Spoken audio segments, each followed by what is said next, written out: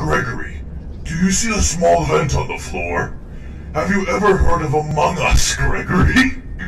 You need to be, you need to vent. I know it will be hard for you to be sus, but I know you can do it, Gregory.